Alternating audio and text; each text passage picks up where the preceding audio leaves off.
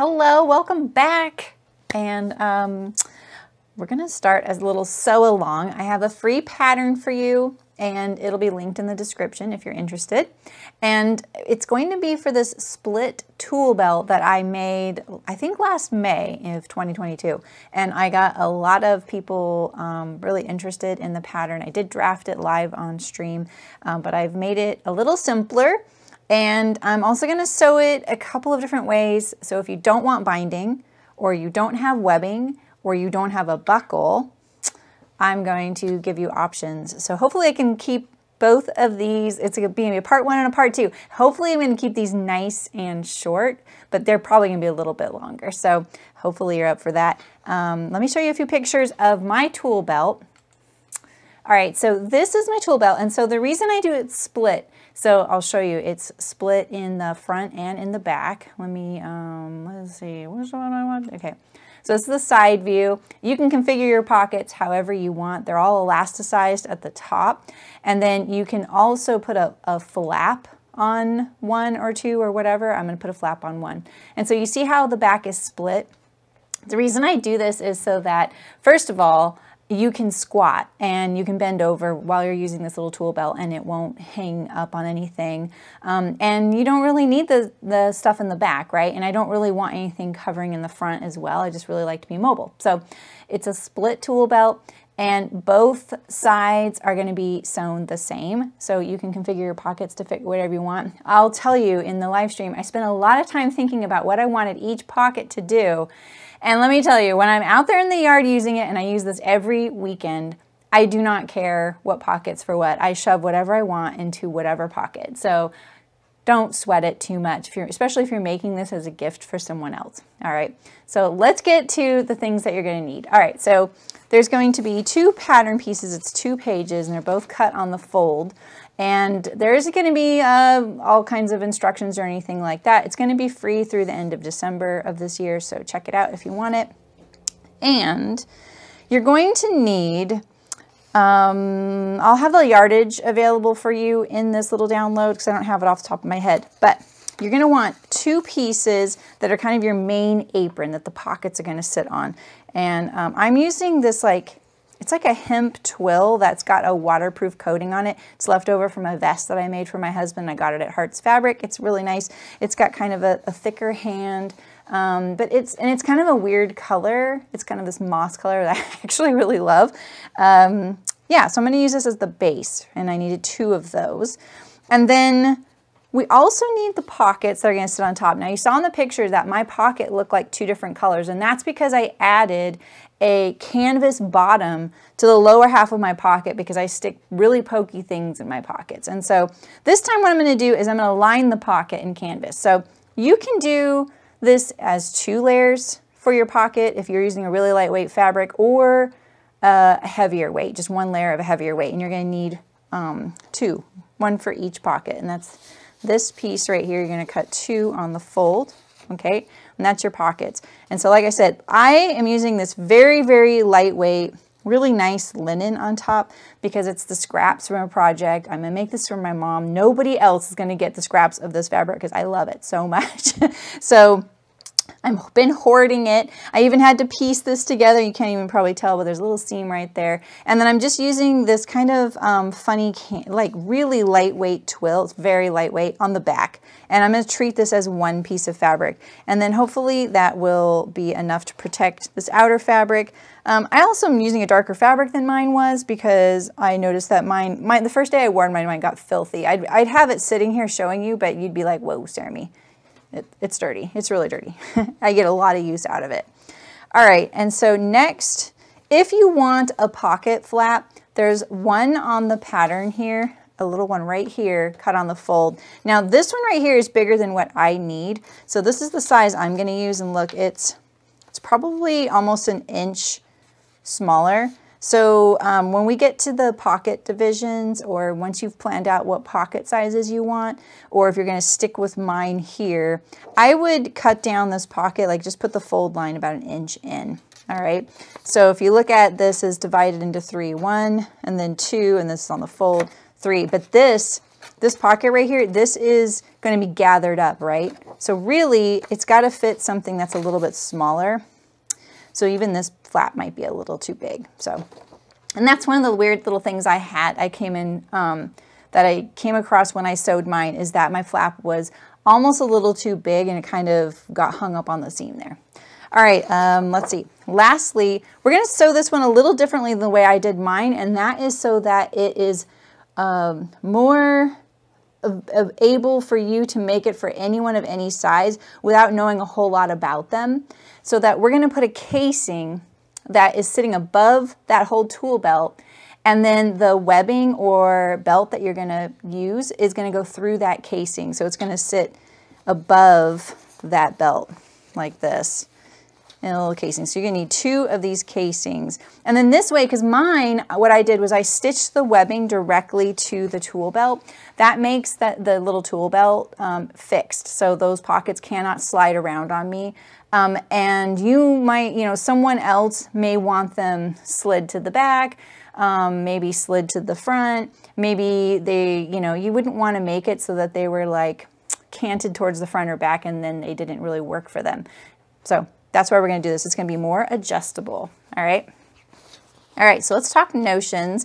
So like I said, you're going to need two of your casing if you want a pocket flap. Um, you need your main tool belt and then you need two pockets or you can line them, all right? Now, if you don't want to use binding at all, you're gonna need four of that main tool belt piece, all right? So now you're getting into more fabric usage, but you don't have to use any binding, all right? And if you're going to use a non-webbing belt, you're gonna need a pretty large piece, a long piece of fabric. I've got it broken down here. I would recommend making your fabric belt finish no more than one and a half inches wide. This webbing here is two inches wide and I'm giving you measurements for either a two inch or one and a half inch wide belt. This is just cotton webbing. I have it left over sitting on my website for forever now from a project from a long time ago. Actually, this is one I ordered incorrectly once by accident. So I still have some. So I'm just glad it somewhat coordinates with this project. and I like wider belts because they don't crumple when I'm wearing them. They're a little more comfortable. Um, the cotton is a little more comfortable as well. And if you want to make a fabric one, the reason I say make it like one and a half inches or narrower, like one to one and a half, you're going to be able, you're going to need to tie it in a tie if you don't have a buckle. All right, that's what this is here. This is a buckle. And this buckle here is made for two inch wide. Oh, I think it's made for two inch wide webbing. Oh, maybe it's made for one and a half inch. Well, I'll get my two inch buckle out because I have one of those too. So you're going to need a buckle that fits whatever you're using for your belt. If you're not using a buckle, you're going to need to use a narrower belt so you can tie it when they're wearing it. All right. All right. And so for a webbing belt at one and a half inch or two inches wide, you're gonna need the high hip measurement. You can guess what their high hip measurement is. And you need to add 12 inches to that because you're gonna need to be able to thread it through here and give them also some room for adjustability, all right? And then if you're gonna do a fabric belt, and that's the same if you're gonna do a fabric belt, but use a buckle, same measurement, all right? But if you're gonna use a fabric belt that's gonna tie onto the person, you're gonna need, um, I'm gonna suggest you make it one and a half inches wide finished. So you're gonna need to cut this piece of fabric six inches wide by their high hip measurement plus 26 inches. So that's a very long piece of fabric no matter what size someone's hip is. And if you're doing that, if you have to piece it together, do a diagonal seam just like this. So when you cut out your pieces, cut a 45 degree angle along the fabric and then piece it together like that. You'll thank me later if you do this at an angle. And it's because when we go to sew this, you don't even feel this seam. It feels completely the same thickness going throughout this whole belt here. And This is my little sample belt. I'm going to show you how to sew it. So just make sure that you do that, that diagonal seam because you need it uh, to be quite long in order to be able to tie. Tying anything takes up a lot of length. All right, um, you're gonna need some binding if you're, if you're binding. You're also gonna need two pieces of elastic. Um, if you're using a very heavy weight pocket fabric, I would say cut this maybe two pieces of elastic, like 11 inches. I'm gonna say, oh no, no, wait, wait, wait. Sorry. I'm going to say you're going to cut it about um, 13 inches. This right here was cut 14 inches and this is a very lightweight fabric. So it's not going to get stretched out um, when I put it on. It's actually going to have a really good return because this is fairly lightweight. If this were heavier weight, it would stay slightly stretched out after I sewed it on, and then you'd have a pocket that's too wide to go onto your apron. So if you're doing a really stiff fabric, cut it about 13 inches and maybe even like gauge before you sew it on there. If you're doing a lighter weight fabric, cut two pieces 14 inches. You can use, this is a 3 8 inch wide elastic. You can use half inch wide, whatever you want, all right? All right, so one more note about pattern pieces. If you are um, in regards to the elastic.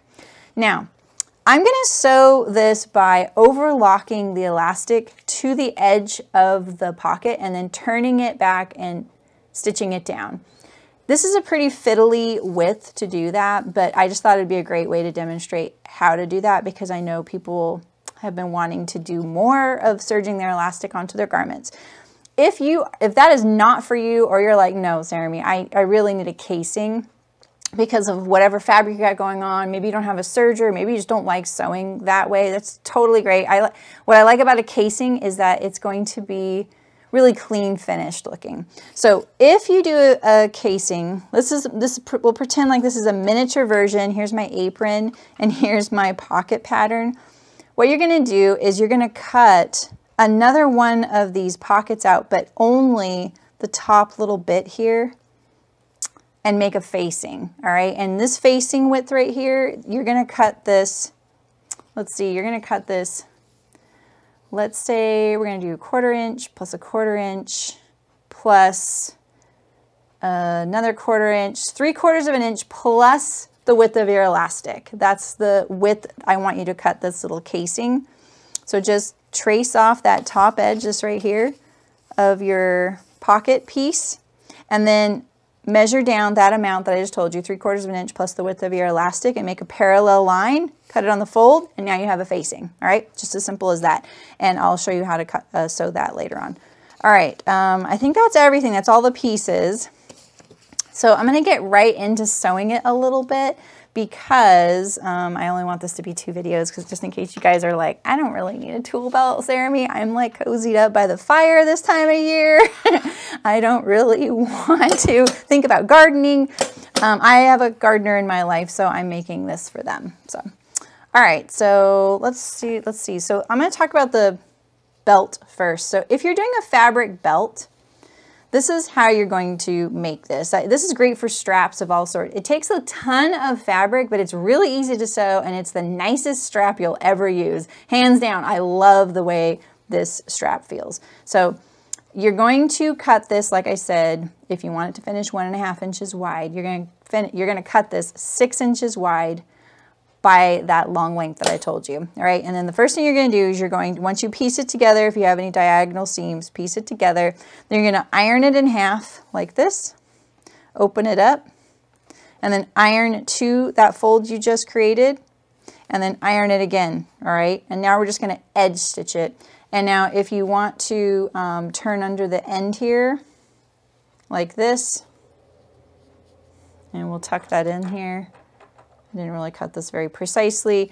And then we will sew it.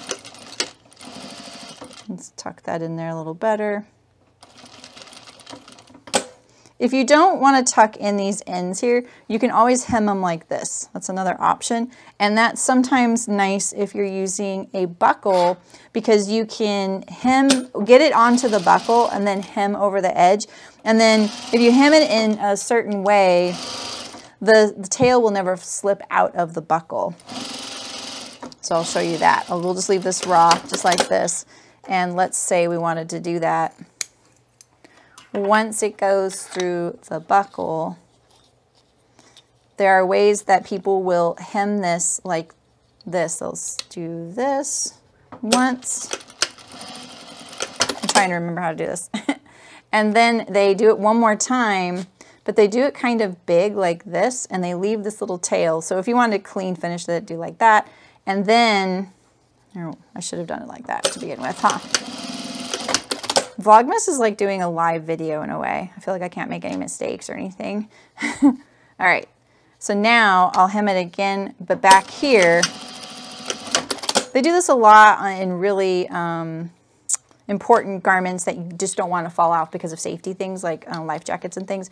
And see, look, now when this pulls, it will get caught on this little thing here. This isn't the right size buckle for this, but it would make it so that it kind of hooks on there. So that's another option. All right, so that's how you're gonna make your belt if you're using a fabric belt or tie. And this is why, this is one inch wide, so maybe you want a one inch wide belt. I just think one and a half would be comfortable in the person. One inch wide is gonna be a lot easier to tie. Maybe if you wanna get fancy, you could taper the ends. You, you see where I'm going here? So making a belt, it's a lot of fabric, but it will be a nice belt. All right. Let's put my buckle right there in the candy basket. All right, so the first thing we're gonna do with our apron is we're going to prepare our pockets. So now I'm gonna treat this like one piece of fabric. And I'm gonna put this one, I just want it wrong sides together like that. I don't really want the yellow showing on the inside like this. And I'm gonna go over, I'm gonna overlock the top edge and I'm gonna include my elastic at the same time. We're diving right in there. There's really not a lot of steps with this apron. Um, and um, it's gonna seem like a lot because I'm gonna show you two different ways to sew it, but you'll see. Let's see, where's my iron? Here we go. All right, I gotta step over the holiday lights. So uh, when you overlock elastic, one thing that can be helpful if you don't wanna cut this perfectly to length, leave yourself like an inch hanging off the edge there so you have something to hold on to. That is really helpful. And I like doing this from the right side. I'm gonna get it in here started and then I'm gonna hold it. I have a whole video dedicated to how to serge elastic onto a waistband. And um, it's one of my most viewed videos. So I'm going to give you my little lecture that I give you in there.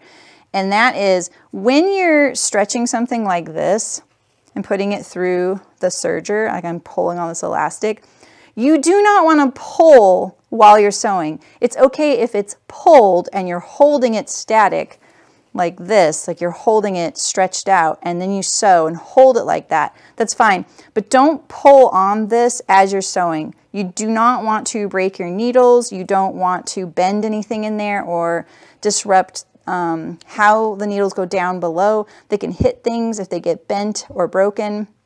They can hit other things down there which will disrupt the timing. All right, so now I have my little tail back here and I'm gonna hold on to this and pull gently a little bit just to get it going there. And I'm, see, look at, see how I'm holding my elastic? And the reason I figured out where to do that is that I took the piece all the way to the end here and I stretched out, you probably can't see it on the camera, I stretched it all the way out, I find like a halfway point and now I hold it like that. And I hold back here because I really want to keep this static, which means it's not going to move while I sew.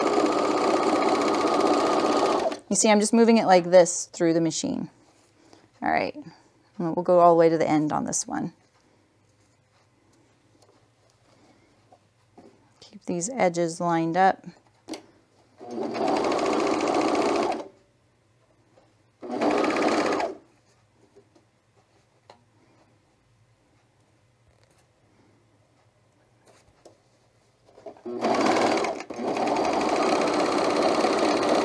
Falling a little bit away there. Having the two layers is a little trickier. And see, this is what I mean by making your elastic a little bit longer because then you'd have something to hold on to right here. So I'm just gonna hold this while I go through, like that. And now I have this nice gathered up little pocket and all we'll have to do is turn it and top stitch it down. So let's do our other one.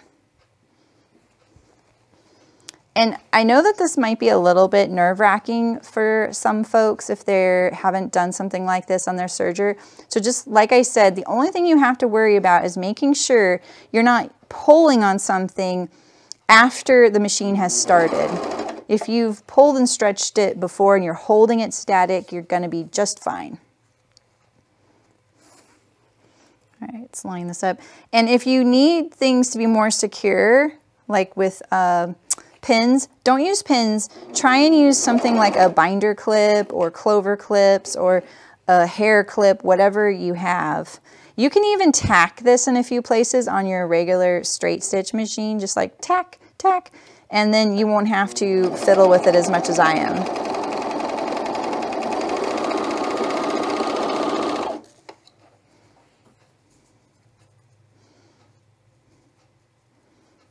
All right.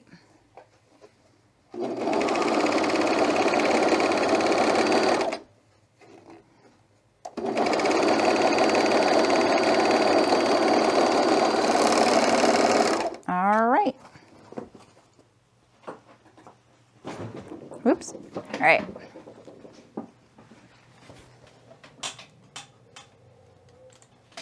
All right, so now we have our nicely gathered at the top little pocket here. And we're just gonna turn this down and stitch it. We're just gonna edge stitch it right here next to that serged edge. And this is the same thing, like you wanna keep this stretched out while you sew. Don't stretch it after you start sewing. And I'm just kind of trying to fold it right there along that elastic so I get a nice clean even width. This is my favorite way to do a waistband, but I do it in the round, not flat like this. All right, and then there's our pocket. I have a feeling this is gonna be a little bit too big for my apron because look, this right here isn't stretched because I was talking too much when I started off right there. Look at that, it's not even stretching. But we'll figure that out. I can always trim this off if I want. We're, it's a no sweat sewing project, all right? So don't, don't sweat it too much. Just have fun with it. Think of it as a way to learn a skill while making a gift.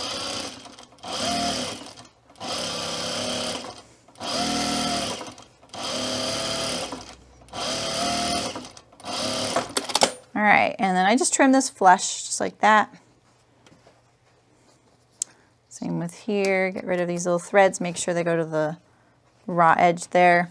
All right, and so next we're going to lay these onto the background here. All right, so let's put one aside and one of these aside, all right? And then we're just gonna line this up. And so we're gonna gather up this bottom edge and we're just gonna kind of go like, just kind of in the middle of this curve here, all right? So I'm gonna put my stitch length a little bit longer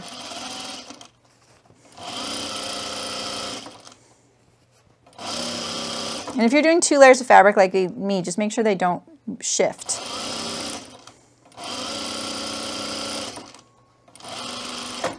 And I like doing two layers here, or two rows, sorry.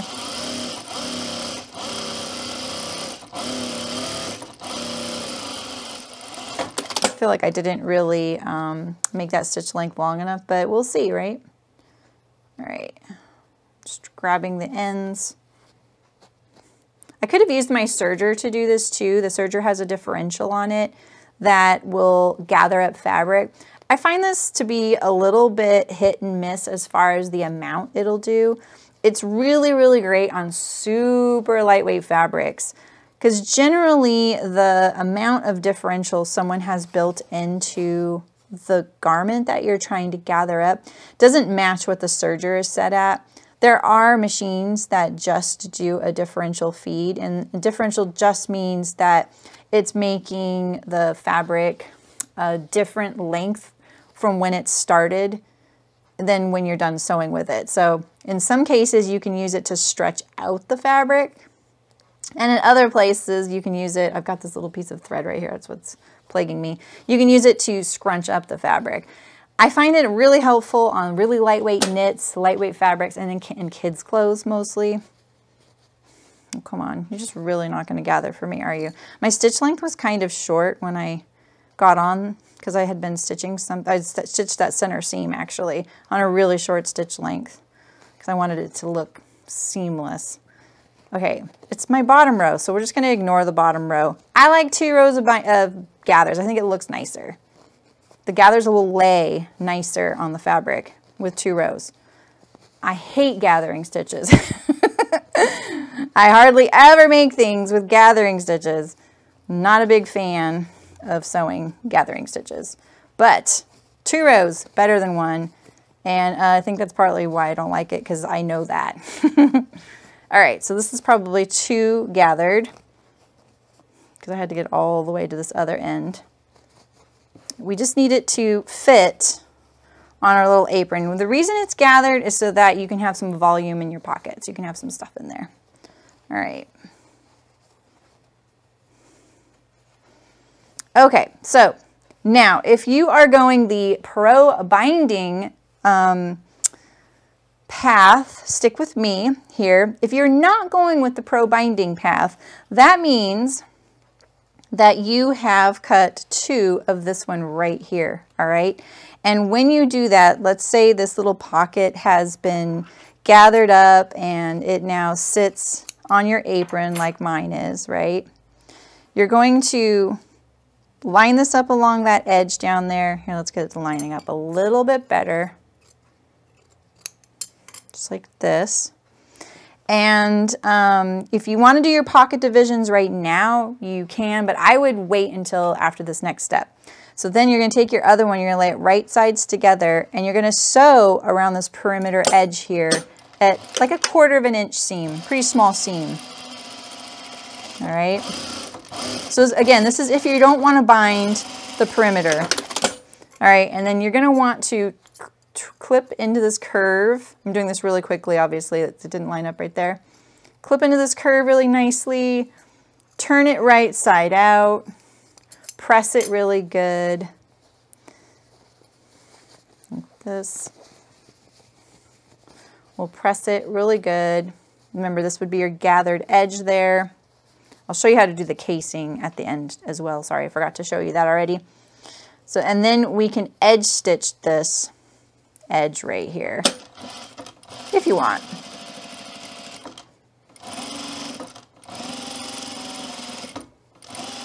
All right, so if you don't want to bind, that's what you're going to do. Now, if you're going to do the casing, of course I, I cut that off, you would sew this little casing before you've attached it to the apron here.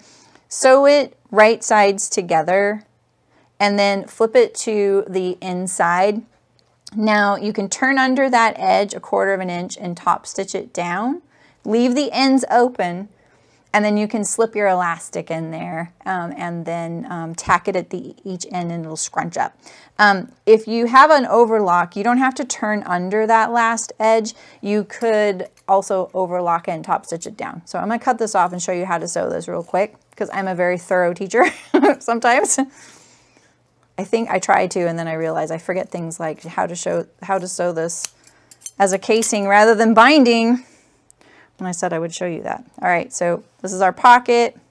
Here's our little casing that I've now really butchered down the other pocket. And we're gonna sew this at a pretend quarter inch seam allowance. Mine's very small. All right.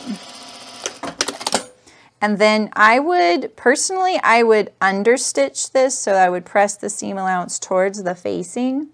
And then I would understitch this. If you want though, you could uh, turn this to the inside. And if you want to overlock this edge, overlock it before you attach it, it'll be a little easier. But if you're not, turn it under and edge stitch it down, right? And then go back and top stitch the top. I'll show you in just a second here. So pretend like I ironed it. So if you're not, don't want to do the understitch thing, I really should have made this bigger for my sample. This is just too narrow. but once it's turned under, this edge is turned under and stitched down. If you don't want to turn under, you don't have to, but I think you should right there because it will get a lot of um, pulling and friction and abrasion, um, and the elastic is going to, you know, cinch it in there.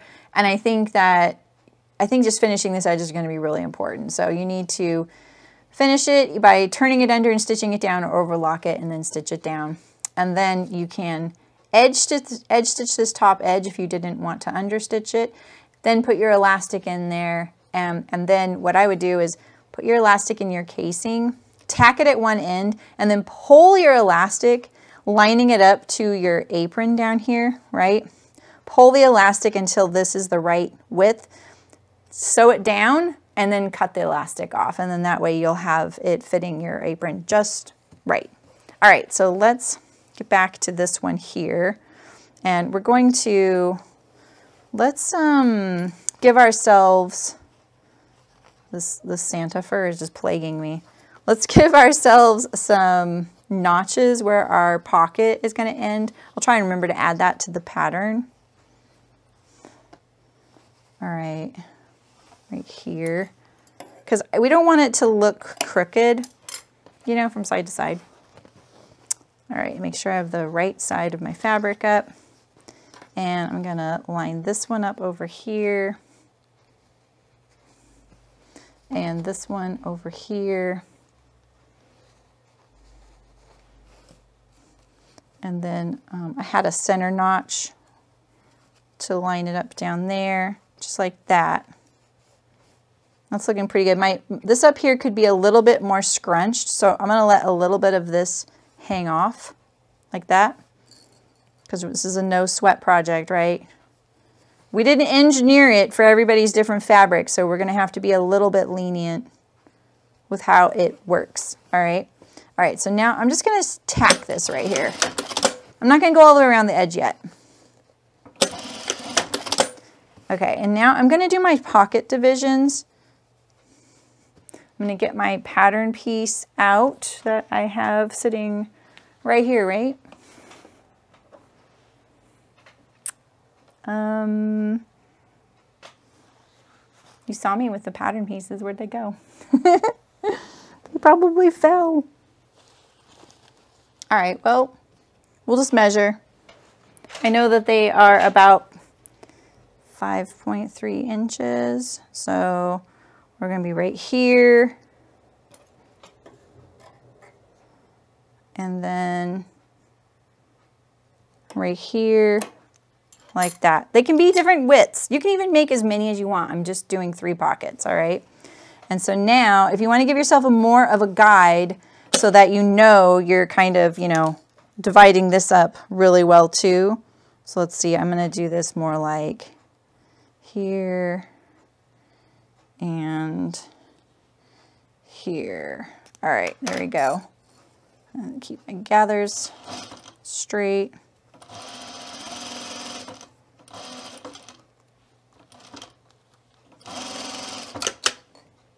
We can't lose our awl. We're about to do some binding. All right, there's one.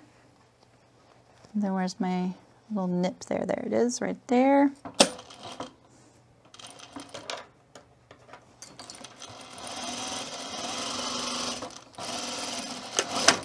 I was kind of going more for like an angle that looked good rather than um, where that ended up up there. All right, and so now we have our gathered pockets here. And now we can stitch down this perimeter edge the rest of the way. That'll help hold it in place while we do this. And then we're just gonna let these gathers kind of, I'm kind of distributing them nicer. And just let those gathers sit there.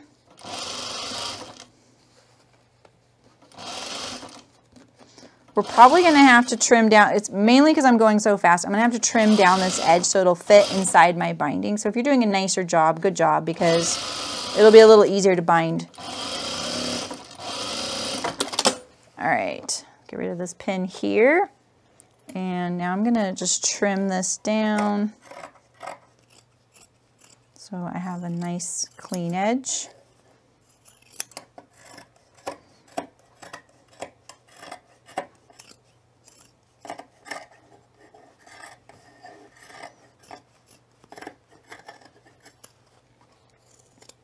All right, and so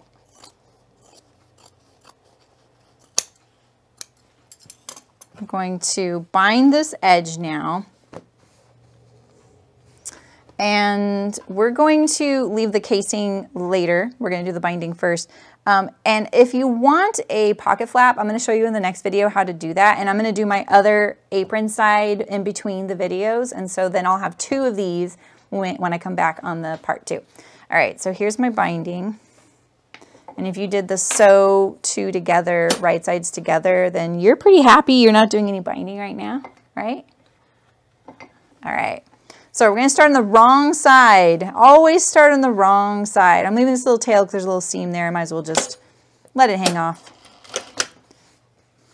And I'm going to gently pull. I can see my seam here and I'm just going to take a look at that where that's at so that I know to enclose it.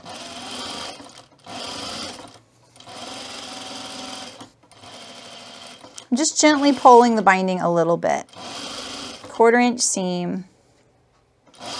My binding was cut one and three eighths inch wide or one and a half inches wide will work as well. I don't pre-fold it. You'll, it's a lot easier to sew if you don't pre-fold it in my opinion. And no one's gonna see the back of this apron like when it's being worn, so don't, don't sweat it too much, all right? All right, now we're gonna trim this down a little bit more just to make sure that the seam allowance is nice and even. It's like this.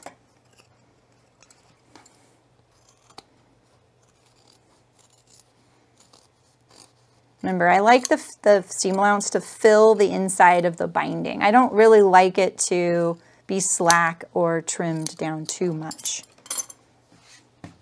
All right, I'm gonna trim this little back stitch here and this back stitch there. All right, we're gonna pull this to the right side. If you wanna press it, you can. I don't think it's that necessary. All right, and we're gonna turn it under and we're gonna go just past that seam I just sewed. Just put the fold like right up to it or right past it so you can't see it. And now we're gonna stitch. Now make sure your needle lands to the right of that first stitch line and then all of your stitching will land on the binding. Logic, right? When you get into these curves, because we gently pulled, it's gonna wanna turn to the right side here kind of nicely. I'm just trimming that thread. But I'm gonna have to kind of pull this a little bit like this. I'm gonna pull it, I'm gonna turn this edge under, and then I'm gonna place it down like that. This is when my awl gets really handy. This is such a great project to practice binding because it's kind of low risk, right? It's a tool belt. And if it's for you and you're gonna use it in the yard, like just practice, right? I'm trying to cover up this line of, that extra line of gathering stitches I didn't even end up using. I have some um, right up here on the fabric. I'm just gonna leave that showing and I'm gonna take it out. Sometimes you, you know, you win some, you lose some. No big deal though. We can just take it out because it's a basting stitch. I think I forgot I wasn't using gray thread. it's blending in okay though. I'm surprised how I how much I like all these fabrics together. They're kind of an odd assortment. I'm hoping my, my mom likes them.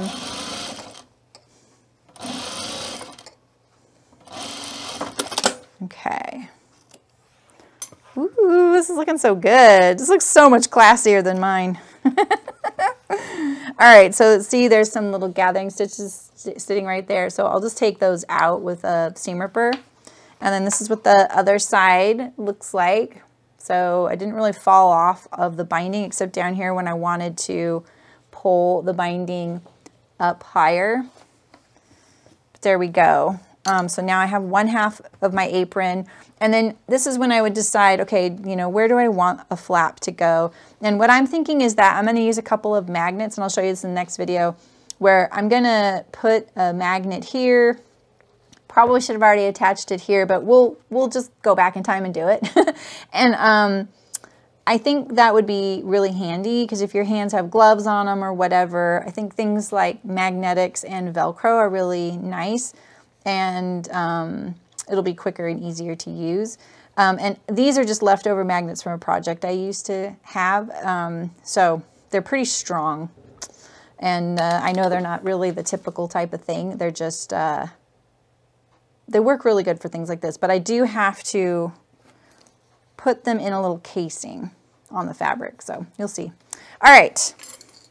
So here we are. We've got our good start of our apron. So when I come back tomorrow we're going to do the casing for the belt, the flap.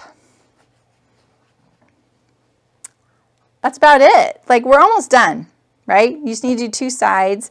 Um, and uh, hopefully those little workarounds with the facing and the binding are going to help you out. All right, so let's let's write our letter to Santa. We're not getting away with not writing a letter Santa because I feel like these are working. People are telling me, oh my gosh, you're manifesting me free sewing time.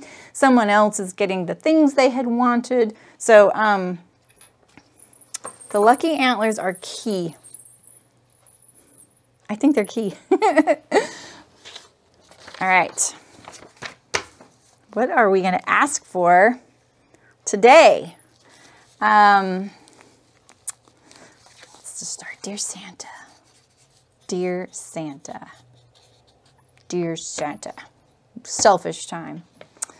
Um, well, you know, I, I was kind of recently inspired to um, address this. So let's let's let's let's let's just say this. Dear Santa,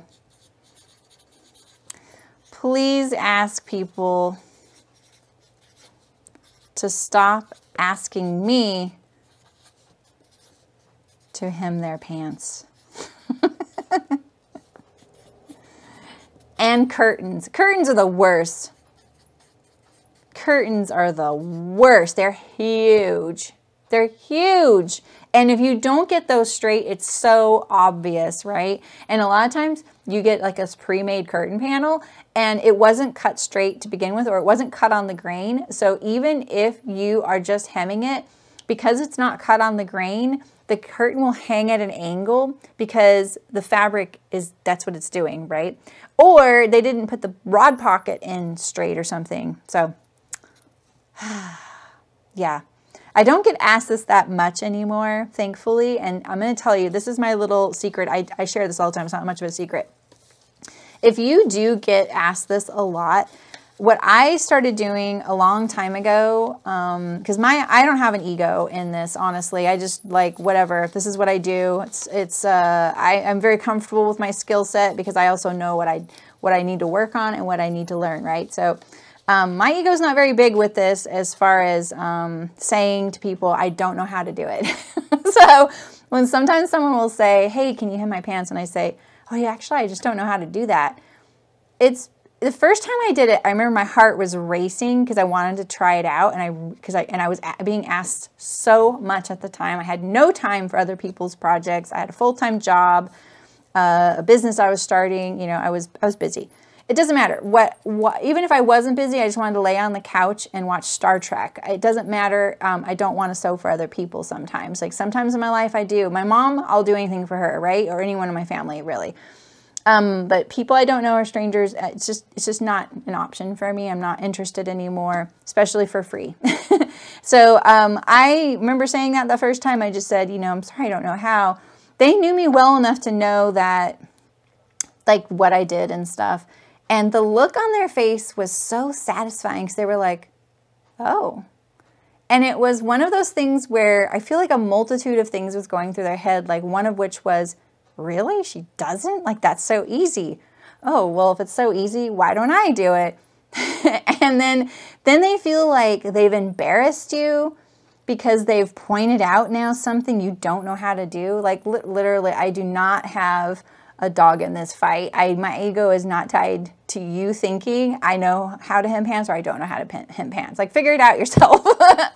so um, I, I started doing that, and it's been one of the most satisfying things. It's the the only white lie I consistently tell. Uh, the last person asked me was a landlord at my last building, and I just remember the look on his face was just so priceless, and that guy in particular really needed that. So, all right, Santa, do your best. That's a tough world out there. Saremy and the gang. Woo woo.